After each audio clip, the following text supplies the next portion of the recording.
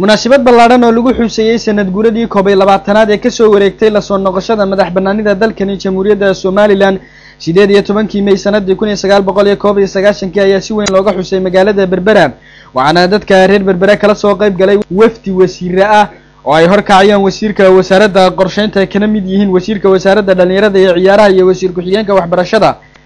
Iyadoo sidoo kalena maamulada heer gobol iyo heer degmo iyo maareeyaha dekeda iyo weliba madaxda laamaha dowladda ee kala duwan oo horkacaya shaqaalaha dowladdu ay iyaguna ay ka qayb qaadanayeen munaasabadani waxaanay socod ka soo bilaabeen dadweynuhu hotel shidayara ee magaalada berbera halka ay howlwadeenada dekeda oo ay horkacayeen maamulkoodu ay iyaguna ka soo dhaqaaqeen dhinaca dekeda berbera. Guud ahaanba dadkaasi waxay isugu soo biyo shugteen xarunta lix iyo labaatanka juun ee magaalada berbera halkaasi oo ay kala hadleen wasiirka wasaaradda qorsheynta doctor sacad cali shire iyo wasiirka wasaaradda ciyaaraha iyo dhaqanka jamhuuriyadda somalilan jamhuuriyadda somalilan cali siciid reygel iyo wasiir ku-xigeenka wasaaradda waxbarashada cali xaamud jibriil oo ka warramay muhiimadda ay leedahay sideed iyo tobanka may iyagoo tilmaamay in magaalada berbera ay haatan ka muuqdaan isbedelo badan oo dhinaca horumarkaa maayirka magaalada berbera cabdalle maxamed cali iyo guddoomiyaha gobolka saaxil maxamuud cali saleebaan ayaa iyaguna tilmaamay in sideed iyo tobanka may dhib badan loo soo maray loona baahan yahay in la ilaaliyo qarannimada somalilan. Maarayaha hamaha shidaalka doctor cismaan cabdi barkhadle iyo guddoomiyaha ku-xigeenka gobolka saaxil khadar cali cilmi ayaa ka hadlay munaasabadan dadka reer berberana uga mahadnaqay isu soo baxani.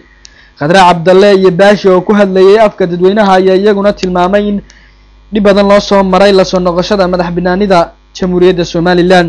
Intii lagu guda jiray munaasabadani waxay socdaallo kormeera ku tageen wafdan dekeda nagfish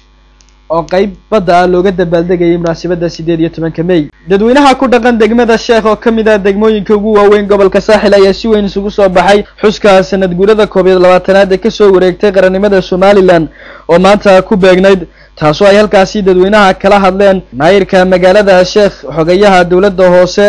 iyo weliba maayir ku-xigeenka degmada sheekh oo dhammaantood ku dheeraaday muhiimadda ay sideed iyo tobanka may leedahay iyo sida loogu baahan yahay in qarannimada dalkan somalilan la ilaaliyo. Sidoo kalena ciidamada qaranka ee xerada tobabarka ee sheekh ku jira ayaa si weyn uga qayb qaatay munaasabadda sideed iyo tobanka may iyagoo halkaasi ku soo bandhigay gaadiciyaar riyahooduna waxa uu tilmaamay in may muhiimad gaara leedahay xuska maalintani. Waxaa sidoo kalena si weyn looga xusay maalin xuska sideed iyo tobanka may guud ahaanba degmooyinka kala duwan ee gobolka saaxil sida gooda weyn mandheera xagal siciidle iyo weliba kuwo kale